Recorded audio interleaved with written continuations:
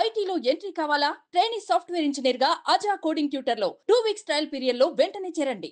ఆంధ్రప్రదేశ్ రాజధాని అమరావతికి మంచి రోజులు వచ్చాయి. ప్రభుత్వం ఏర్పడుతూనే కొత్త ప్రభుత్వం బాధ్యతలు తీసుకుంటూనే రాజధాని నిర్మాణంపైన ఒక స్పష్టత ఇచ్చింది.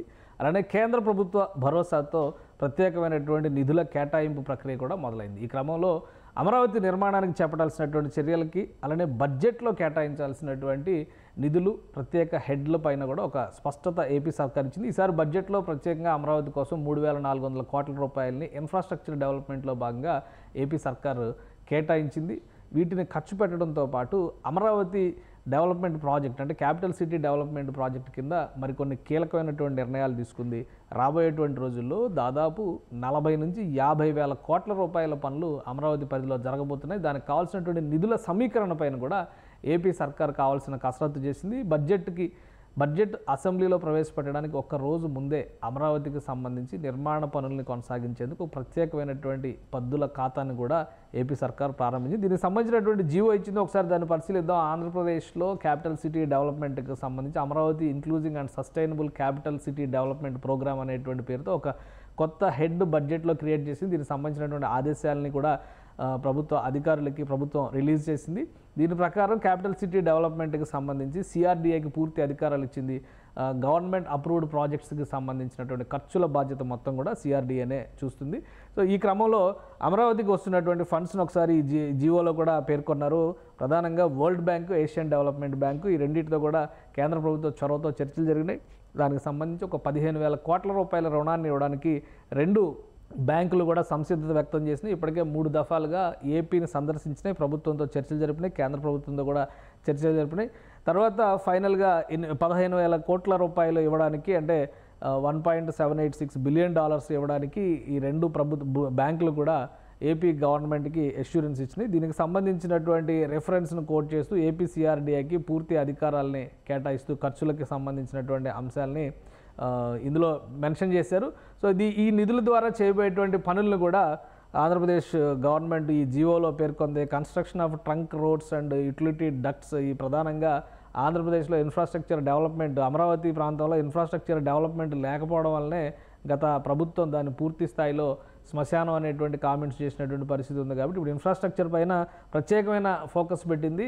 రహదారులు అలానే డక్టుల నిర్మాణం ఎసెన్షియల్ సర్వీసెస్ చూపించడం అలానే storm water drainage water flood mitigation development of schemes అంటే వీటికి సంబంధించి వరద నిర్వహణ చర్యలు తీసుకోవాల్సినటువంటి అవసరం ఉంది. గతంలో నెదర్లాండ్స్ ఎక్స్పర్ట్స్ uh, సహకారంతో ఒక కమిటీని ఏపీ గవర్నమెంట్ వేసింది. ఎందుకంటే అక్కడ నెదర్లాండ్స్ క్యాపిటల్ ఆమ్స్టర్డామ్ పూర్తిగా వరద అంటే సముద్రంలోకి చొచ్చుకుని ఉన్నటువంటి నగరం అది. అక్కడ నీటి నిర్వహణ ఏ విధంగా జరుగుతుందనేటువంటి అంశాలపైన ఏపీ గవర్నమెంట్ ఒక రిపోర్ట్ అడిగింది. ఆ రిపోర్ట్ని ఈ కమిటీ సబ్మిట్ చేసింది కాబట్టి ఇందులో భాగంగానే వరద నిర్వహణ చర్యలకు సంబంధించి కూడా ఏపీ గవర్నమెంట్ ఇందులో ప్రత్యేకమైనటువంటి వెసులుబాటు ఏపీ సిఆర్డీఏకి ఇచ్చింది. ఇక development of roads utilities green spaces in LPS zones twenty four by seven clean water supply system ఇవన్నీ కూడా కనీస సౌకర్యాలుగా మనం చూడాల్సి ఉంటుంది. ఎందుకంటే ఒక నగరం పుట్టాలన్నా ఒక ఊరు పుట్టాలన్నా కానీ అక్కడ ఉండాల్సినటువంటి వసతులు ఏమేమి ఉన్నాయో అవన్నీ కూడా ప్రభుత్వమే కల్పించాల్సినటువంటి అవసరం ఉంటుంది. ఇలానే ఇక్కడ చూస్తే సివరేజ్ సిస్టమ్ ఇంక్లూడింగ్ ఎస్టీపీస్ కూడా అక్కడ కడుతున్నారు. రాబోయే రోజుల్లో దాదాపు ముప్పై ఐదు లక్షల జనాభా ఉండబోయేటువంటి మహానగరంగా అమరావతి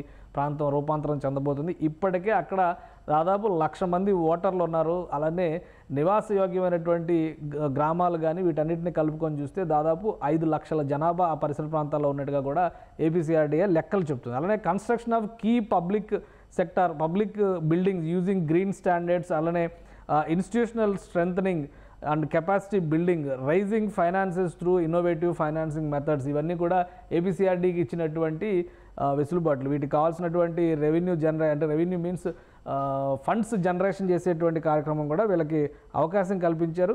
అలానే ఇంకొన్ని అంశాలు ఉన్నాయి ఏషియన్ డెవలప్మెంట్ ఒక ఇవ్వబోయేటువంటి ఏషియన్ డెవలప్మెంట్ బ్యాంక్ ఇవ్వబోయేటువంటి డబ్బు ఎంత అలానే వరల్డ్ బ్యాంక్ ఇవ్వబోయేటువంటి డబ్బు ఎంత వీటన్నిటికీ సంబంధించినటువంటి ఆర్డర్లో ఎక్స్ప్లెయిన్ చేశారు. వీటితో పాటు ఆంధ్రప్రదేశ్ ప్రభుత్వం మరికొన్ని చర్యలు తీసుకోబోతోంది. ఎందుకంటే ఈ వచ్చినటువంటి నిధుల సద్వినియోగం అనేటువంటి అంశాన్ని దృష్టిలో పెట్టుకొని ఇక్కడ రెండు విషయాలని ఇప్పుడు ఏషియన్ డెవలప్మెంట్ బ్యాంకు అలానే వీళ్ళు మొత్తం కలిపి ఒక పదిహేను వేల కోట్ల రూపాయలని అమరావతి అభివృద్ధి కోసం ఇవ్వబోతున్నారు.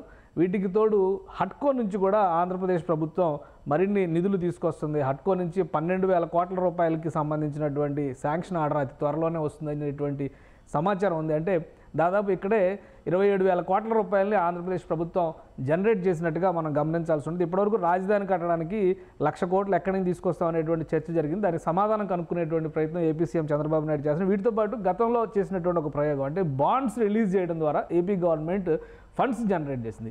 ఈసారి కూడా అదే తరహాలో దాదాపు ఇరవై మూడు వేల కోట్ల రూపాయలకు సంబంధించినటువంటి బాండ్స్ రిలీజ్ చేసేటువంటి ప్రయత్నాల్ని ఏపీసీఆర్డీఐ ఇప్పటికే ప్రారంభించింది. దీనికి సంబంధించినటువంటి గ్రీన్ సిగ్నల్ కూడా ఏపీ సర్కార్ ఇచ్చింది. సో మొత్తంగా చూస్తే దాదాపుగా నలభై ఐదు వేల కోట్ల రూపాయల నుంచి యాభై వేల కోట్ల రూపాయలు కావాల్సినటువంటి ఫండ్ పూలింగ్ ప్రణాళిక అనేది ఆంధ్రప్రదేశ్ ప్రభుత్వం దగ్గర సిద్ధంగా ఉంది. సో మొదటి దఫాగా వరల్డ్ బ్యాంక్ అలానే ఏషియన్ డెవలప్మెంట్ బ్యాంక్ నుంచి వచ్చేటువంటి రుణాలు హట్కో నుంచి వచ్చేటువంటి రుణాలు ఆ తర్వాత ఆంధ్రప్రదేశ్ ప్రభుత్వం ఇక్కడ తీసుకురాబోతున్నటువంటి బాండ్స్ జనరేట్ చేయడం ద్వారా తీసుకురాబోతున్నటువంటి ఫండ్స్ ఇవన్నీ కలిపి చూస్తే ఫస్ట్ ఫేజ్ నిర్వహణ అనేది ఫస్ట్ ఫేజ్ నిర్మాణం అనేది పెద్ద కష్టతరమైనటువంటి అంశం కాదు. చాలామంది చాలా అంచనాలు వేశారు. రాజధాని నిర్మాణం చాలా క్లిష్టమైనటువంటిది ఒకవేళ రాజధాని కడితే రాష్ట్రం మొత్తం అడుగు తినాల్సిన పరిస్థితి వస్తుంది అనేటువంటి చర్చ కూడా చేశారు. కానీ ఇక్కడ ఒక క్లారిటీతో ఆంధ్రప్రదేశ్ ప్రభుత్వం వ్యవహరిస్తుంది. రాజధానికి కావాల్సినటువంటి ఫండ్స్ మేనేజ్మెంట్ విషయంలో స్పష్టత తీసుకుని వచ్చింది. అలానే వీటి రీపేమెంట్కి సంబంధించినటువంటి మార్గాలను కూడా. ఎందుకంటే అది గ్రోత్ ఇంజన్గా దాన్ని తయారు చేయాలనేటువంటి ఆలోచనతో కొన్ని ప్రణాళికలు సిద్ధం చేశారు కాబట్టి అక్కడి నుంచి వచ్చేటువంటి ఆదాయాన్ని ఈ రీపేమెంట్కి కావాల్సినటువంటి ప్రణాళికను సిద్ధం చేస్తారు. వీటితో పాటు బడ్జెట్లో యాజ్ ఇట్ ఈస్గా మామూలుగా బడ్జెట్ నిర్వహణ సందర్భంగా తీసుకోబోయేటువంటి చర్యల్లో భాగంగా రైతులకు ఇవ్వాల్సినటువంటి నాలుగు వందల కోట్ల రూపాయల కౌలుకు సంబంధించినటువంటి అంశాలు ఇతర వనరుల సమీకరణకు సంబంధించి ఒక మూడు వేల కోట్ల రూపాయలని అమరావతి కోసం ప్రభుత్వం కేటాయించింది. వీటితో సంబంధం లేకుండా అంటే అమరావతి రాజధాని నిర్మాణానికి సంబంధించిన అంశాలను అలా పక్కన పెట్టేస్తే రాష్ట్రంలోని వెనుకబడిన ప్రాంతాల అభివృద్ధికి సంబంధించి కూడా బడ్జెట్లో ప్రత్యేకమైనటువంటి కేటాయింపులు జరిగాయి. ఇన్ఫ్రాస్ట్రక్చర్ విషయంలో రహదారి వ్యవస్థకు సంబంధించి పంచాయతీరాజ్ గ్రామీణాభివృద్ధికి సంబంధించి వీటన్నిటిపైన కూడా ఏపీ సర్కార్ ఒక క్లియర్ కట్ ప్రణాళికతో ముందుకు వెళ్తున్నటువంటి సంకేతాలను స్పష్టంగా ఈ బడ్జెట్లో అనలైజ్ చేసింది. సో అమరావతి నిర్మాణానికి ఆంధ్రప్రదేశ్ రాజధాని నిర్మాణానికి ఎటువంటి డోకా ఉండదు.